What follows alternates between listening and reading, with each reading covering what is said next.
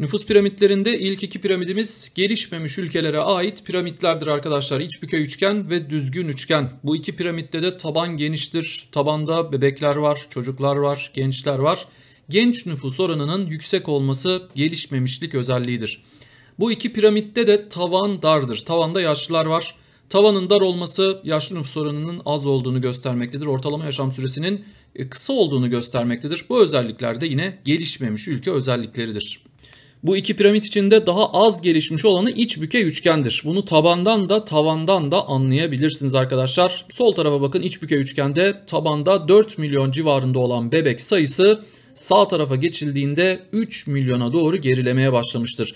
Yani bebek oranı düşmeye başlamıştır. Doğum oranlarının düştüğünü göstermektedir. Bu gelişmeye doğru adım atıldığını göstermektedir.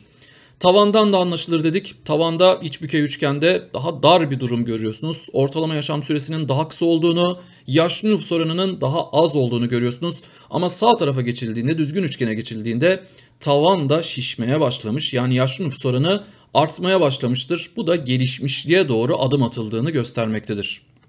Arı kovanı ve çan şeklinde piramitlerde gelişmiş ülkelere ait piramitlerdir. Yine tabana bakarak ve tavana bakarak bunu anlayabilirsiniz arkadaşlar. Tabana bakıyoruz, gençlere bakıyoruz. Az önceki gelişmemiş ülkelere göre gençler daha azdır. Doğum oranları düşüktür. Bu gelişmişlik özelliği. Tavandan da anlaşılır demiştim. Yaşlılara bakıyorum. Az önceki ülkelere göre yaşlılar daha fazladır. Ortalama yaşam süresi uzundur. Bu da yine gelişmişlik özelliğidir. Gelişmiş ülkelerin büyük çoğunluğu sol taraftaki gibi arı kovanı piramidine sahiptir arkadaşlar ve bunların en büyük amacı da gençlerini artırmaya çalışmaktır. Doğum oranlarını yükseltmeye çalışmaktır. İşte sağ taraftaki piramit yani çan şeklinde piramit bunu başarabilmiş ülkelere aittir. Dikkat edin sağ taraftaki çan piramidinde tabanda bir genişleme başlamış. Yani son zamanlarda doğum oranlarını yükseltmeyi başarabilmiş ülkeler çan şeklinde piramide sahip ülkelerdir.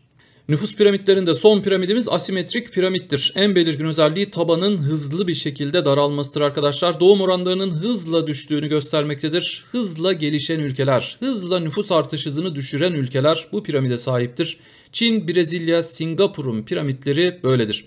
Arkadaşlar hızla gelişen diyorum ama Japonya gibi gelişmiş bazı ülkeler de vardır. Nüfus artış hızını bir türlü yükseltemeyen ülkelerdir.